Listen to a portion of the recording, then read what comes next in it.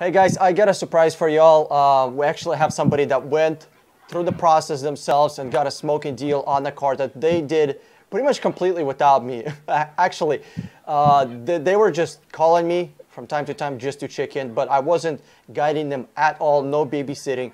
Um, all right, you have the microphone. Uh, talk to people, tell people about your experience, you know, what you got, what was it like? Yeah, okay, so um, I started looking for a new car, uh, I guess about three weeks ago, and I started scouring YouTube, trying to just find out different tips on how to negotiate, and came across one of your videos, and uh, really liked how candid you were about the whole process. So uh, I binge watched every single 60 minute car video I could possibly find and so the, the, way the process started for me was I, I, did what you said to do, and I did a nationwide search on uh, uh, TrueCar.com, Car Gurus, Auto Trader, Cars.com, CarsForSale.com, Craigslist, eBay. I mean, every, everything I could possibly find. And I just started kind of doing a comparable price on the car I wanted, which was uh, 2014 Nissan Maxima SV, and uh, I, I kind of got an idea of uh, what the basic price was. So I called my credit union. They gave me uh, they gave me a check for fourteen five. Obviously, I didn't want to use all of that, so I started at twelve, and I was just calling dealerships. And you know, a, a lot of times, every dealer would ask me, uh, hey, well, what kind of budget do you have? And I would say, don't have one. They would say, well, what kind of price are you trying to stay around? I said, don't have that either. I'm only searching for the best deal. What can, what's the best deal you can offer me out the door? And they would say, well, when can you, when can you come in for a test drive? And I said, I don't come into the dealership unless I'm coming to pick up the car. So if you can't give me a good, uh, you know, your best out the door price, then no worries. Have a good day and some of them would tell me, some of them wouldn't. And the the car that I found, uh, so I live in Texas. I found one in Oklahoma City. So I called this dealer, and they said, uh, you know, we don't we don't do a sales tax, but uh, we do a dealer processing fee, which we all know is bullshit. And so they said my out the door price would be thirteen six. I was like, I'm looking at twelve and they said, yeah, we can't do that. And I said, okay, cool, thanks. Hung the phone up. Uh, maybe a couple of days go by. They called to check in, said, hey, you know, man, I, we really know you like the car. We'd love to get you in, but you know, there's no wiggle room. You know, the car is gonna sell fast. And I was like, nah, you know, I'm stuck at 12. Sorry, can't help you out. And then uh, about a week later, they call me back and they said, hey, is are, are you still interested? And there was another Maxima that I was interested in, but I didn't really like the color. And this guy was going to get me out the door at 13. But what I told them is I said, uh, I said, hey, I was like, I'd still be interested. I said, uh, you know, I would even be willing to negotiate a little bit, but I have another deal that I'm probably going to go with, and they're going to get me out the door at at uh, uh, twelve five and they said, okay, hey, we'll, we'll have our sales manager call you back the next day. So he calls me back and he goes, hey, man, uh, you know, I, I wanted to follow up and uh, I know you're interested in, uh, you know, trying to get to get out the door at 12, 8. But, uh, you know, I, I don't want to lose any business over, uh, you know, a couple of hundred bucks. So, you know, if you could do 12, 8, he goes, I, will I'll, I'll make that happen. And so I went into this looking to spend no more than 13. That was kind of like my, my, my mindset. And so I got it for 12, 8. Uh, they're doing the pre-purchase inspection now. That's going to be done tomorrow. And then I'm going to cut them a check. And uh, I, I, did that all through 60 minute car. I mean, I feel like I learned like, uh, like I got a fucking doctorate degree and how to negotiate better. So uh, all the all, all the props to you, man. Much appreciated. Thanks, man. Appreciate it, dude. Uh, thanks for this testimonial. Uh, here's the thing: how long, like if you put this your entire shopping process, right, your entire time, how many hours would it be? Oof, man, I, I spent. It would be like you know, like ten minutes here and there throughout the day, and I did it probably uh, a good two and a half, maybe three weeks. So, So- I mean, let's say you spend 20, uh, 20 minutes a day, right? And then and then times 21 days, that's 400 minutes. 400 divided by 60, what is that coming out to? Uh, somewhere just under like eight, eight hours or so, right? Yeah, yeah, pro- probably about that. And uh, th- th- that you know, e- even though that seems like a lot of time searching for a car, versus what I would have spent going to a fucking dealership and spending you know half my day on a Saturday was Uh-huh. well worth the time. I mean, it was, Absolutely. and the and and the thing that you kind of showed me also was like don't go into it like in a rush or to be too excited. So i kind of conditioned my mind not to fall in love with the car that i like. And i just i prepped my mind to just say whatever the dealer told me was just to stick to my guns and say hey if you can't do 12 i'm out. Okay cool thanks. Have a good one. Hung the phone up. And I love it. Dude, the phrase that you're using that I really like is sticking to your guns. That's I'm gonna use that one. You gotta you gotta stick to your guns because dealers do not have people lined up out the door. When you're when, you- when you're negotiating, I mean you're in physically at the dealership. How I mean, how many people are there lined up to buy that car? Nobody. Nobody. You're the only one. Right? yeah So And you know what? And you know what's funny? I, I didn't mean to cut you off. Uh, this one particular dealership, I uh, I called him and he was like, "Hey, are, are you paying cash or finance?" And knowing I'm paying cash, I said, uh, "I don't know. I'm kind of undecided right now." And uh, I, I uh, he called. We kind of went back and forth a little bit. And uh, I was like, "Well, hey, man," I said, "You know, if you can get me in at 12, I, uh, you know, I'll cut. I'll come up there and cut you a check right now." And he goes, well, hey, he goes, well, who are you going through? And you know, I, I told him the name of the credit union, and he goes, well, hey, man, uh, would you be open to financing it for us, or, or financing it from us? And I was like, yeah, if you could beat four percent interest, absolutely.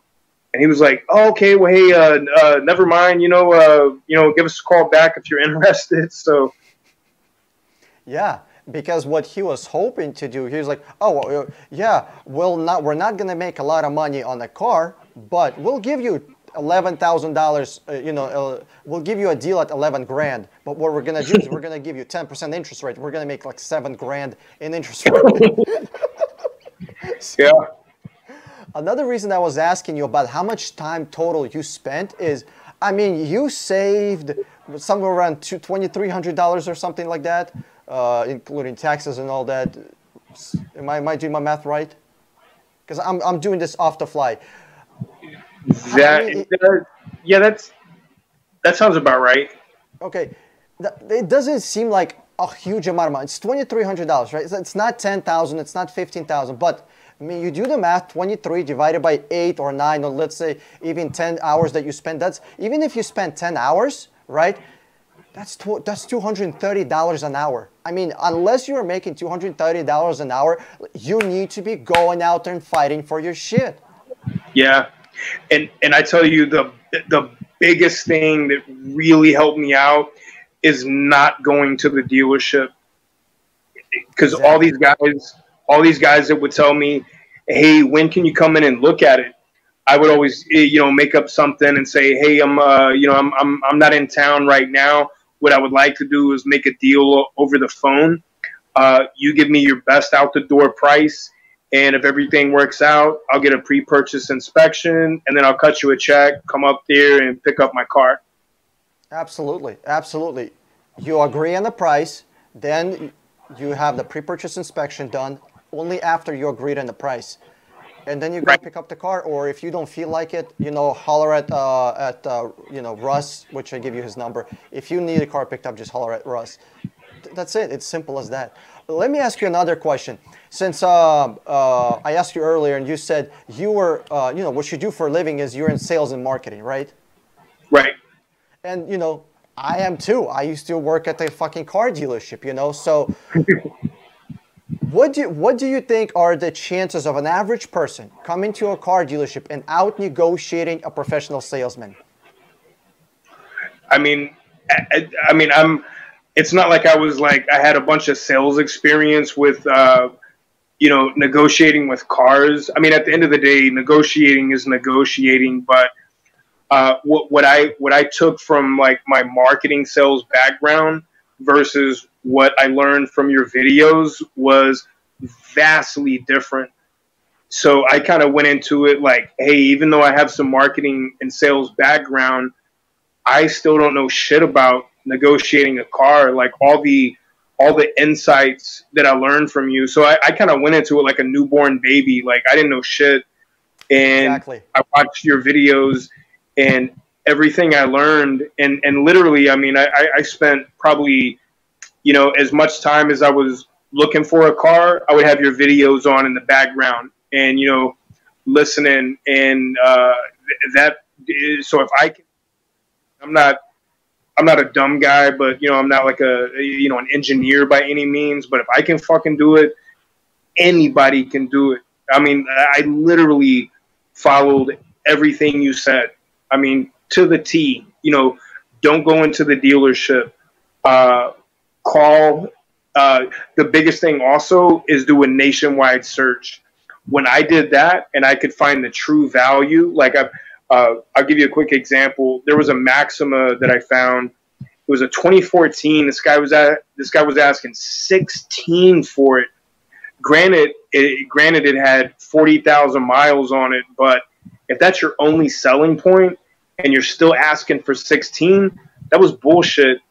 And so after doing the nationwide search, I was like, man, there is no fucking way I'm paying that much. So not going into the dealership and doing a nationwide search was probably the two biggest tips that I got from you.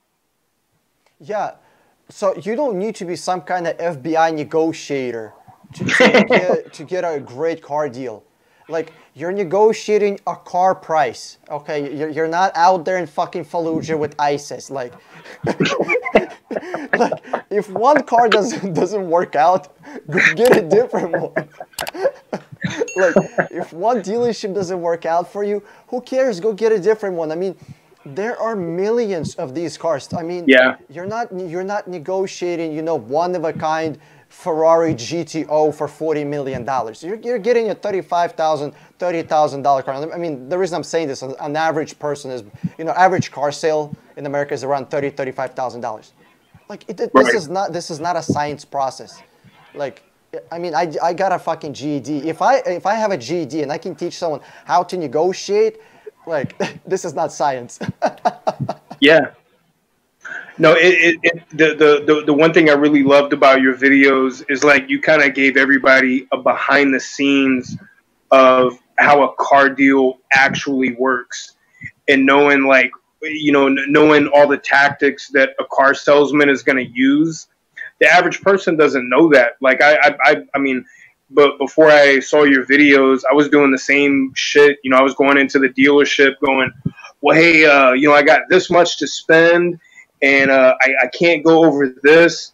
And every fucking time I would walk away spending over that amount that I went in there for and buying bullshit like uh, extended warranties and uh, uh, Gap and all this extra shit that the dealership makes money off of.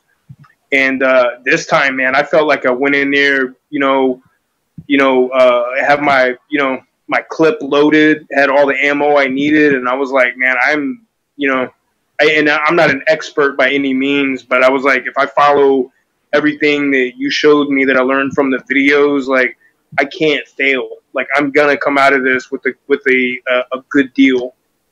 Absolutely, dude.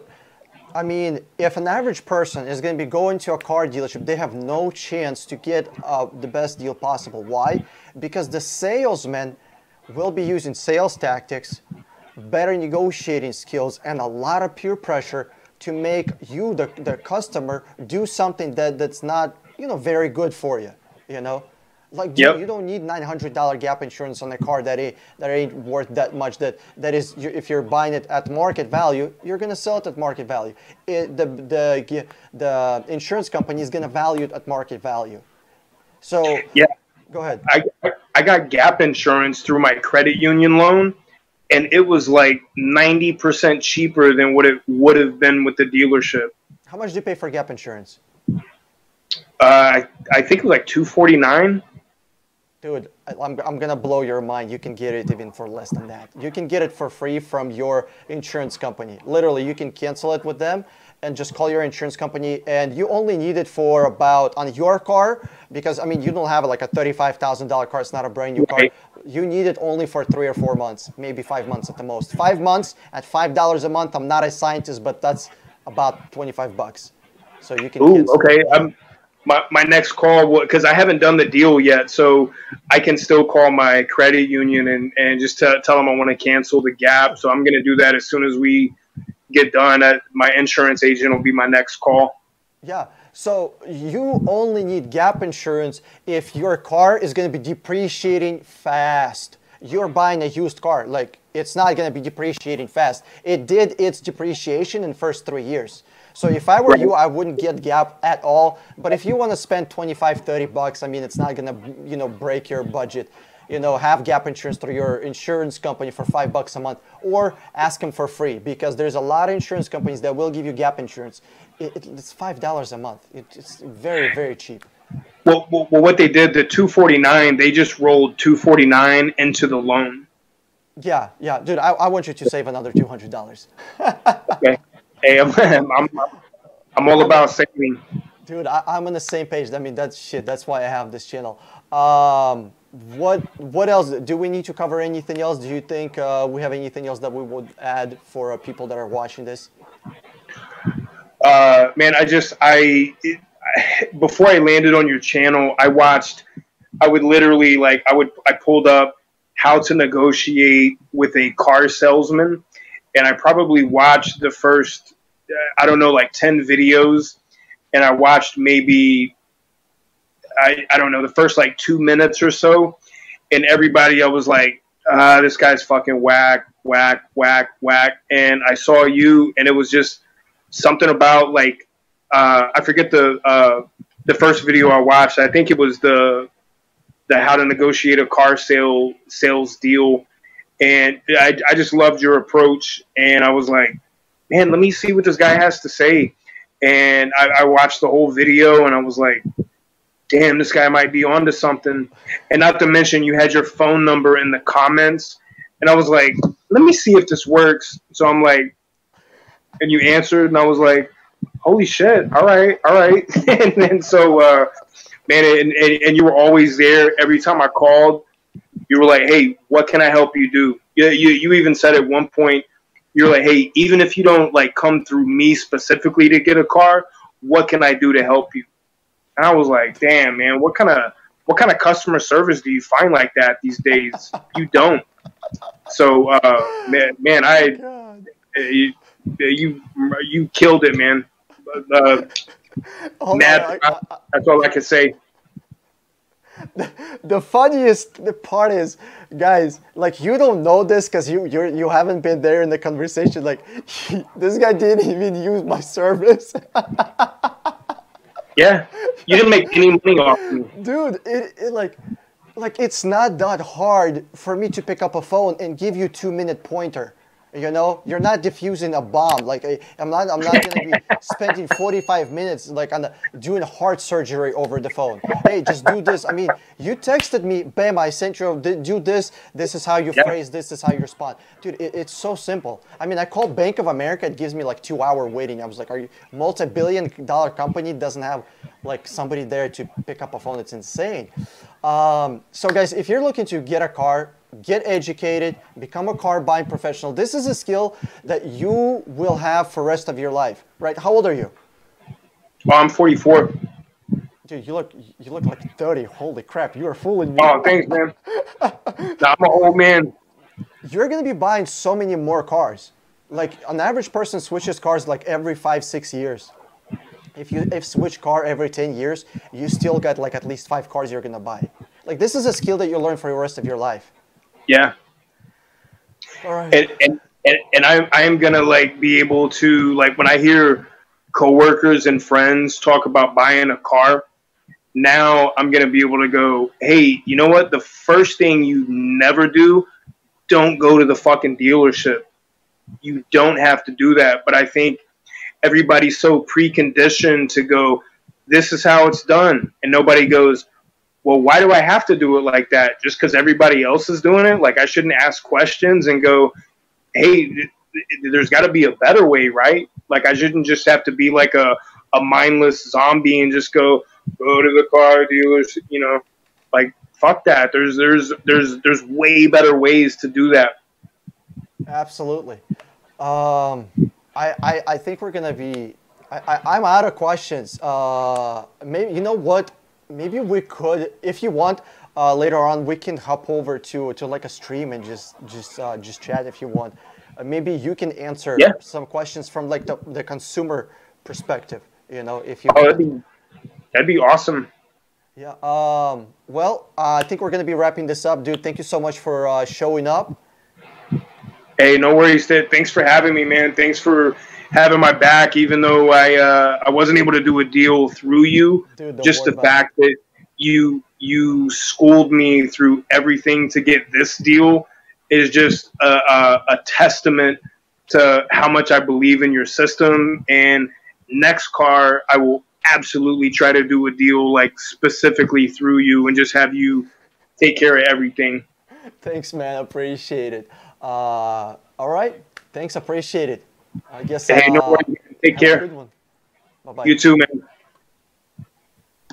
Huge thank you for watching this video. Click here to subscribe, watch one of those two videos, and click the share button below the video. Did you enjoy the video? Did you find it useful? Do you think you're gonna save some money with it? Absolutely you will. Share this video on Facebook with somebody else. This is Dan Strong with 60 Minute Car. I'm signing out and I'll see you in another video.